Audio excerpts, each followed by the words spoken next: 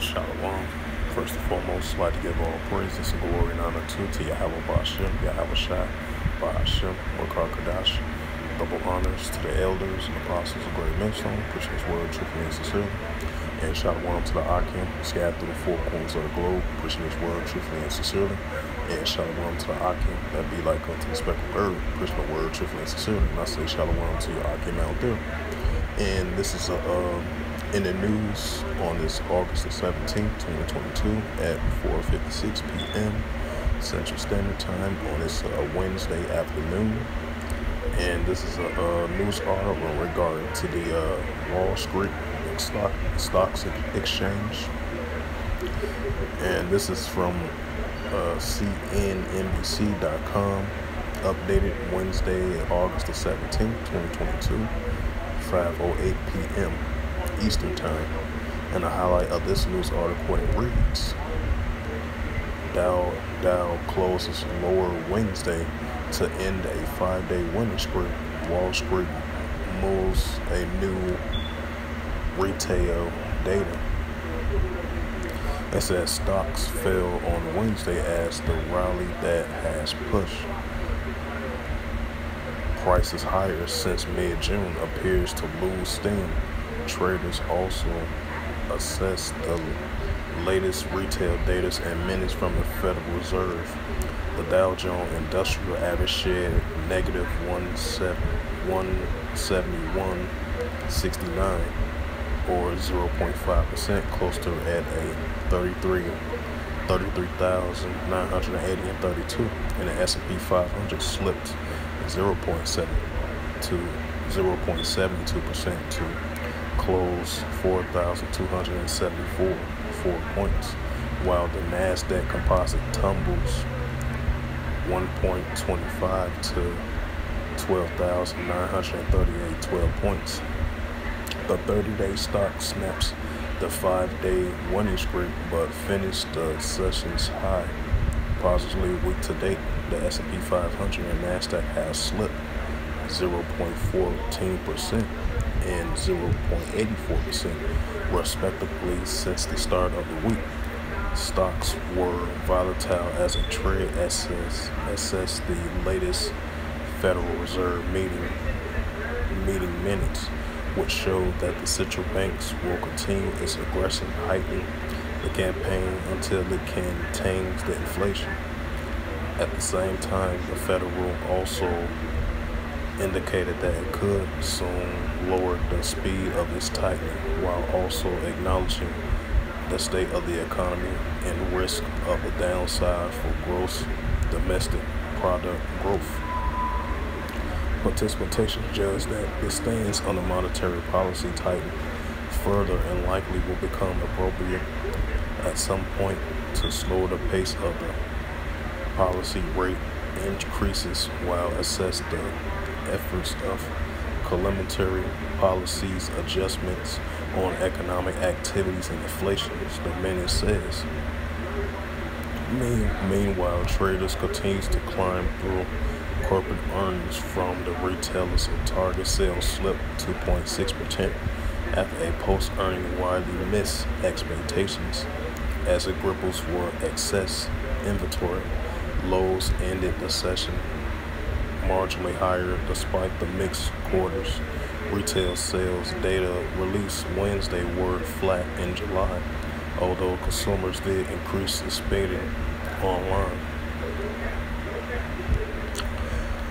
So yeah, you know the Dow Jones just uh, ended a five-day winning streak, um, especially as the data report showing as the uh, the consumer spending was uh, still the same as usual from July. Now this is a data report for August came out.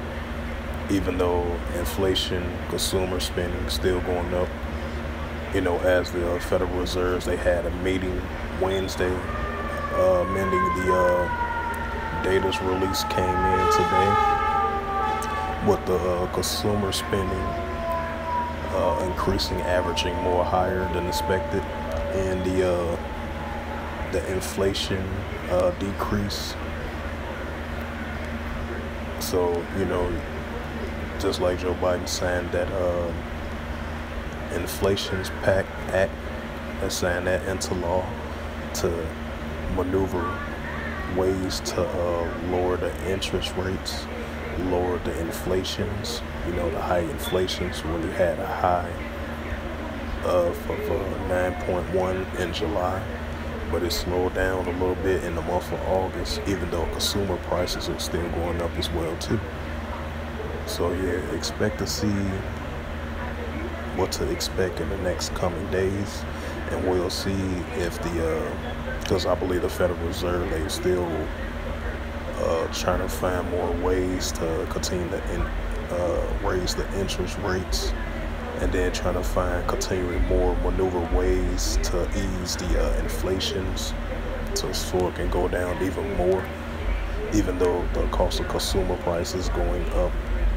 You know the gas prices consistently going up everything is still continually to go up as well too you know even though the gas price went down a little bit and the inflation eased a little bit so the federal reserve is going to continue to monitoring find ways to ease the inflation and the cost of spending as well too.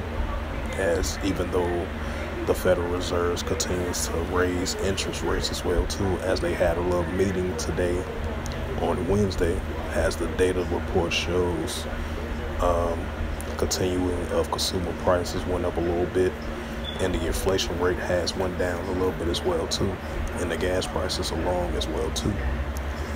But expect to see more consumer prices continue to goes up and everything else continue to goes up as well too even though they continue to find maneuvering ways to ease the uh, inflation you know.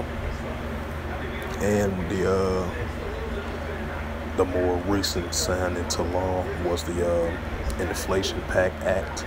So we're going to see how that's going to work out. But at the moment right now, everything is still, you know, constantly, consistently going up. You know, the cost of foods, the cost of goods, you know, and everything, that's still continually going up. That's why the consumer uh, spending is up once again. And then according to the data shows, the consumer spending was more online normally it'd be like in stores. You know, people go to the uh, Jewel's, Walmart, or places like that to shop. But most of the consumer spending this time, it was more online. Because sometimes you might find good deals online, you know.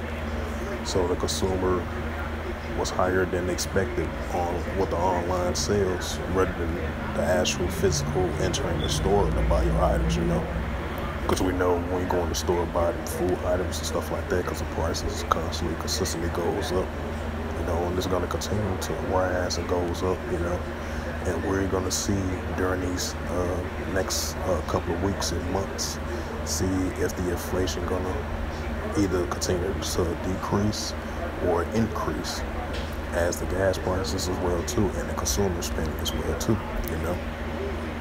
So you know i just want to bring out this uh, lesson as I was keeping my eye on the uh, stock market exchange now because I did a video earlier similar to this. Now this is like a, a actual update of the uh, stock stock market, the stocks exchange as the uh, Dow Jones uh, went down, ending a five-day winning streak, and that Dow Jones went down negative 171 and the uh, S&P 500 and the industrial as well too. Where all three areas uh, went down in the uh, negatives column, you know. So with that, um, so with that, I uh, hope this was uh, edifying through the spirit, power, grace, and mercy of the Hawaii Outshot. And first and foremost, I'd like to give all praises, and glory, and honor to to Yahweh, Bahashim, Yahweh Shai, Bahashim, Bakakadash. Double honors to the elders and apostles of Great Millstone, pushing this word truthfully and sincerely. And Shalom to the Akim, scattered through the four corners of the globe, pushing this word truthfully and sincerely. And Shalom to the Akim, that be like unto the speckled bird, pushing the word truthfully and sincerely. And before I close out this uh, sit down lesson on this August uh, 17, 2022, 5:06 p.m. in regards to the financial situation with the stock markets and bonds. So expect to see consumer spending increase more. Inflation's might goes back up. It all depends on if the inflation gonna ease a little bit more or it's gonna increase back up. But you but expect to see more consumer spending, more high prices continually consistently goes up as well too. You know. So with that, I will say uh, Shalom in the Ball Ball.